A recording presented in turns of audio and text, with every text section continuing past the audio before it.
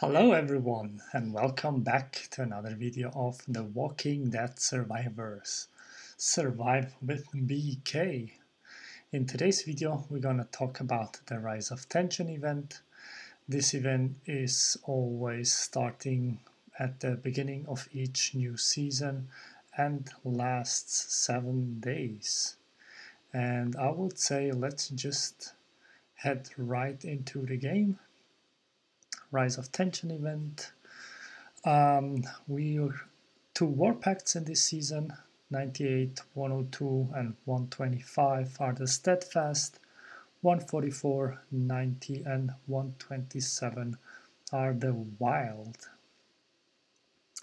As already mentioned in my other video, you can destroy a tower um, and receive some items for it. To uh, destroy a tower, you need the bullets. Bullets you can acquire in, in buying an offer pack, spend 2000 rubies, or get them in a survival challenge.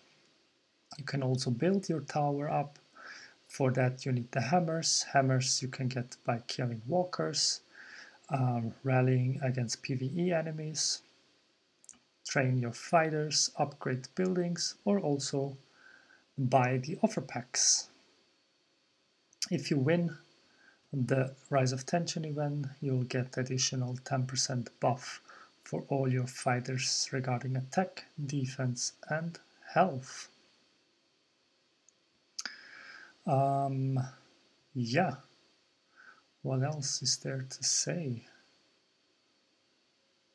Not much really.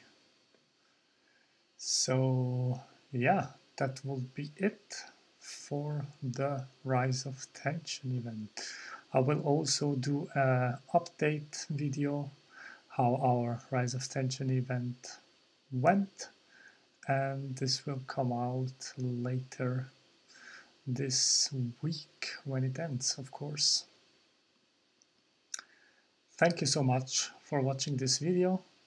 Um, please like and subscribe to the channel, put the notification bell on so you get the notification when I upload new videos.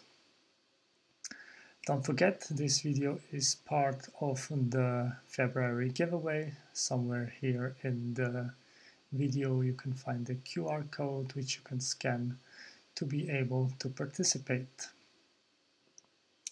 Thank you again for watching and see you in the next video. Peace.